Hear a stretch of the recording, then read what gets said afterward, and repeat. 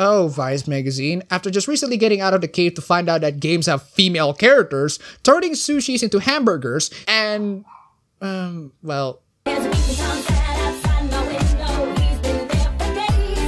What kind of pathetic diatribe that you're gonna upload next? The Invisible People Why Asians Need to Be Represented Better in Video Games. I. I I'm gonna pull my Watch Dogs 2 clip. So freaking what? How is that relevant? Because he's rare? So? I don't see Indonesians in the Western gaming circle, and I don't throw up my panties over that kind of shit because that's fucking pathetic. Your people not represented in games. Well, so are mine. Go cry in the corner. Boo fucking who. I really don't think this is enough. We're gonna need to dive into the article and make sure that things are just okay. Thankfully, this is not a Mary Sue article, so I don't have to add any anime girls or yaois as I read, and I don't want to make it a regular thing. But do your best to not latch onto a nearby rope. The Prey reboot revealed as the Bethesda's E3 2016 press conference leans in, just as Morgan Wu does towards the mirror, inviting viewers to speculate on the details. The vacant space station, the unsettling routine, his increasingly bloodshot eye, but I found myself focusing on another aspect. This is an Asian character, and a protagonist at that. That's the only thing that you notice because you are an ideologue. I watched the trailer and honestly, that's not really the thing that I noticed the most. I noticed how different it is to the original Prey and how it didn't really have those Native American spirits aspects to it.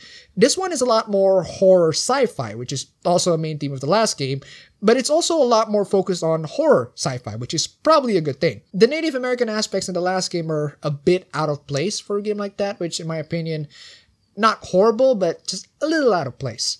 Oh, and by the way, the original Prey is a criminally underrated game. There are lots of genuinely mind-fucking sceneries in there. I highly recommend you guys to check it out. The problem is that it's not on Steam, which is very unfortunate. So I'll put the links in the description where you can get the original game. Seriously, Gabe, put it on Steam already. While we currently know very little about Wu, I will confess that those first glimpses were intensely evocative. You hear it a lot because, for one reason or another, some people still need to accept it.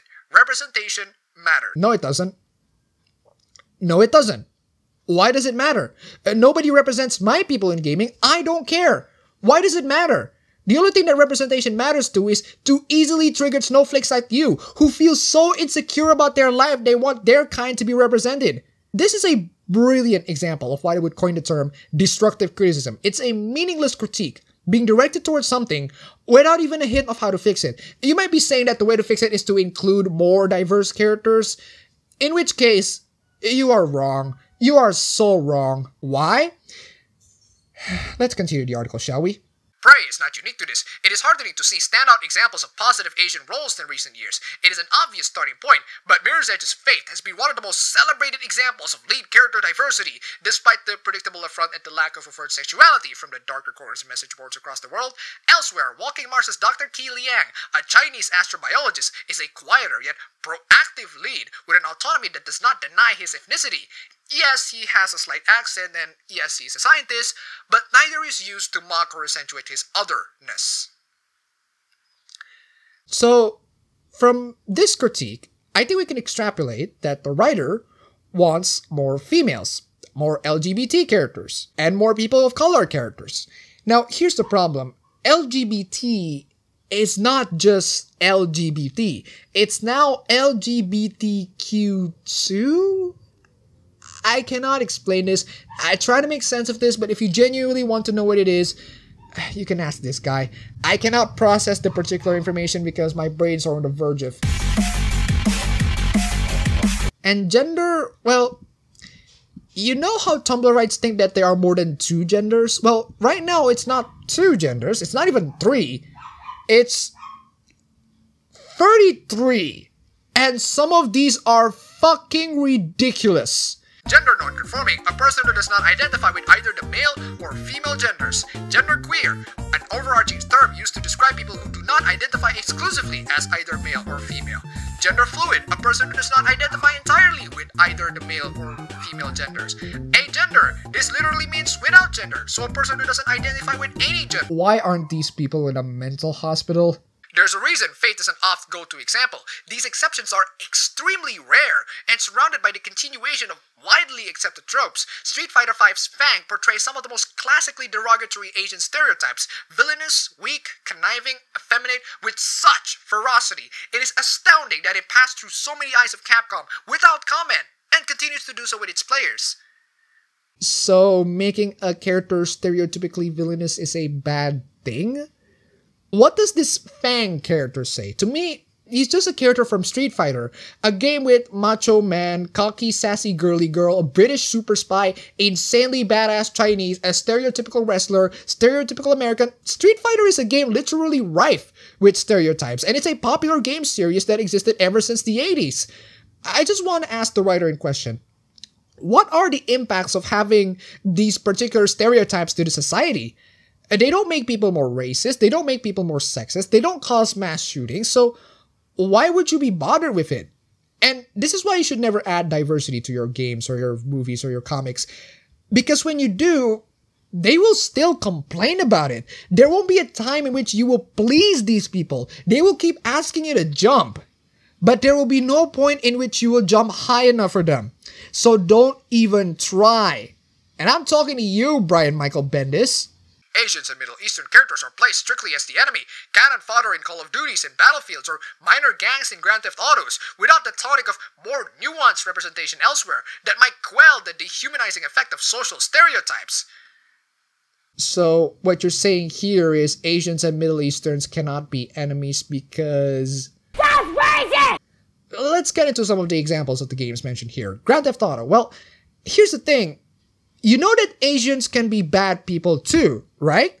Minor gangs in GTA, well, they're the most people you interact with in Chinatown wars, including enemies. So when you say that Asians need to be represented better, how better do they need to be represented? I, are you saying that they can't be enemies, even if they're the minority of enemies you face? In Chinatown Wars, you have no choice. They will be enemies because triads exist in real life.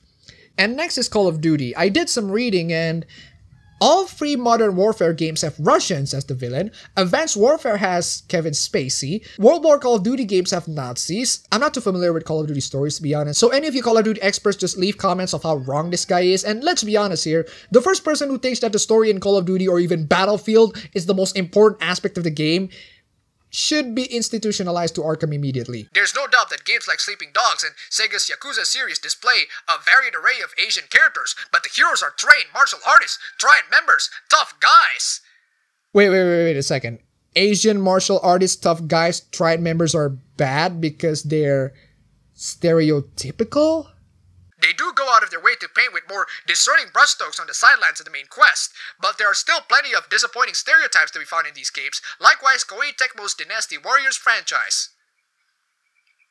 Dynasty Warriors? Dynasty Warriors?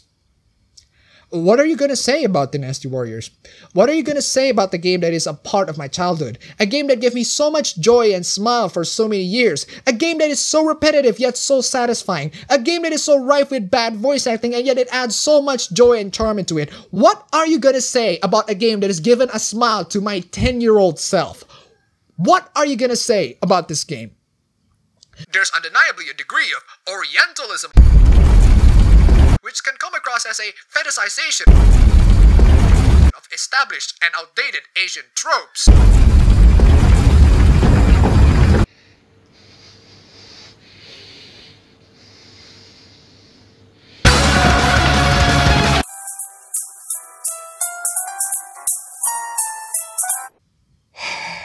Okay. I- have calmed down. I've calmed down, I swear.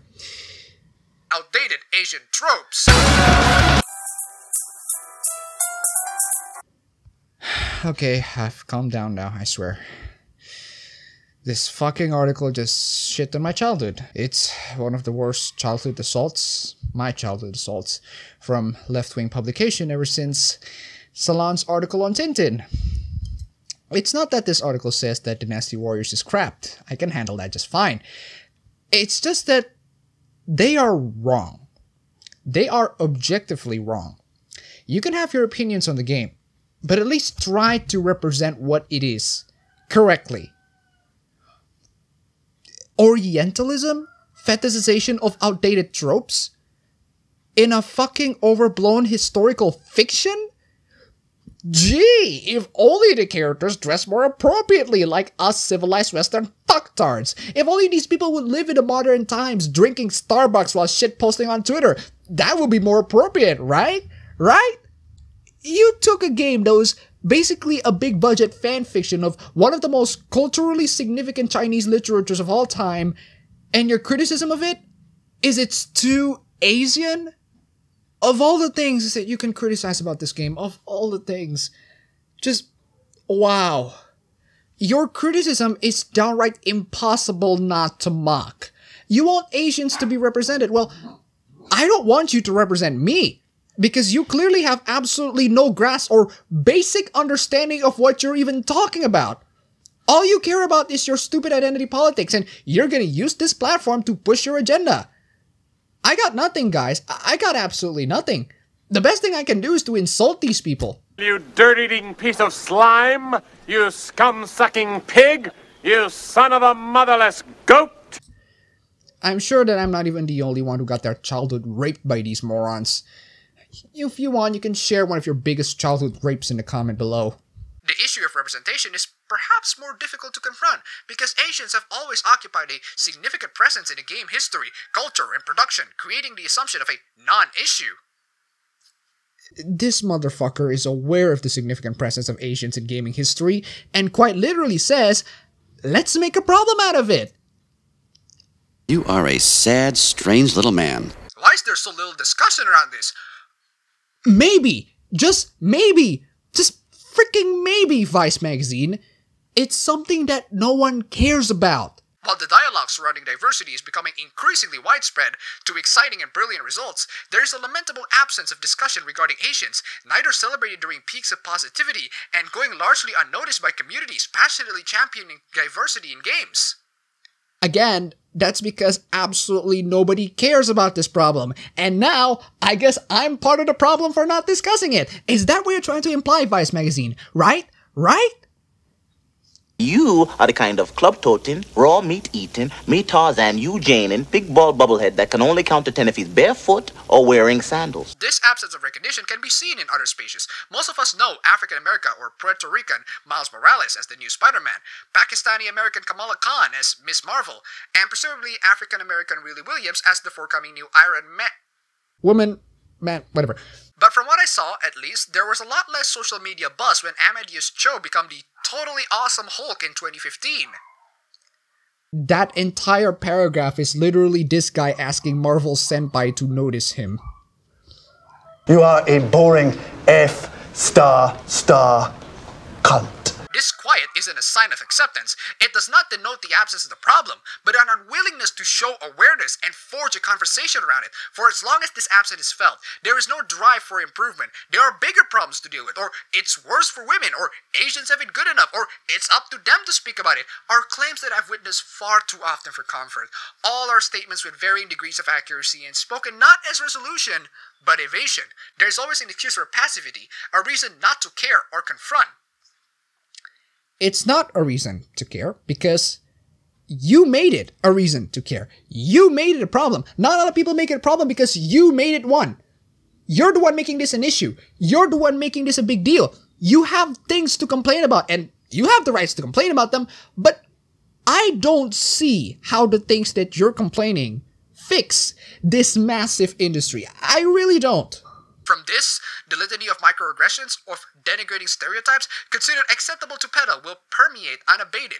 In general terms, Asian women will continue to be prizes or villainous. Asian men continue to be faceless martial artists or emasculated. Game makers, producers, and arguably most important, its audience have tremendous power to either assert these stereotypes or resist them. Mirror's Edge and its sequel, Waking Mars, and hopefully Prey, are steps to deliver a much needed change in representation.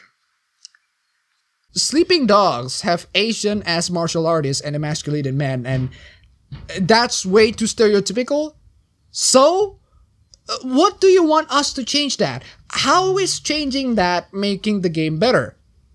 Uh, don't even get me started on the Dynasty Warriors. Thanks for scarring my childhood, you pricks. Frankly, I'd rather have a job wiping Saddam Hussein's ass. This isn't a call to divert attention, or a protest against other minorities that have it better. A falsehood I'm cautious to avoid. There is space within all of games culture to confront representation of the trans community, abuse of women in tech industries, and a desire to see diversity of storytelling that reflects gaming's audience, among others. But perhaps it's time to realize that there has long been an invisible people who also need this conversation to happen to them. I sincerely hope to see this happen too.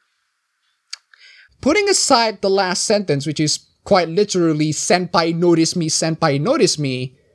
Hello, Vice Magazine. This is an 18 year old Asian speaking, and this guy wants to look at you. Get ready. Look, look at him. There's your this YouTube. Come on.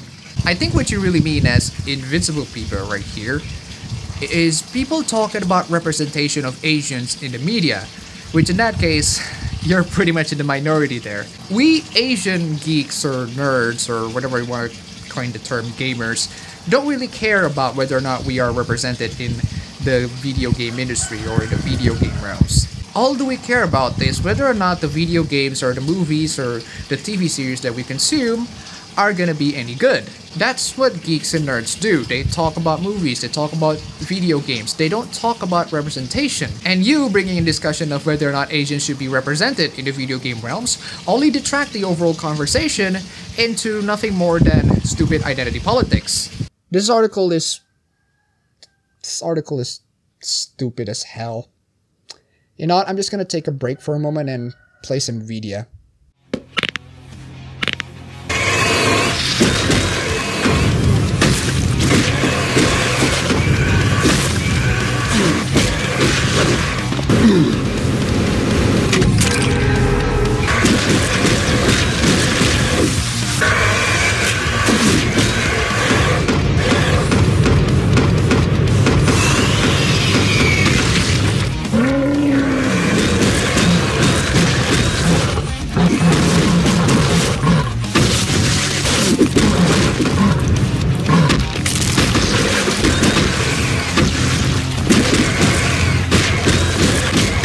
That's all for the video today. If you like this, you can go ahead and click the like button and subscribe for more. Thanks for watching.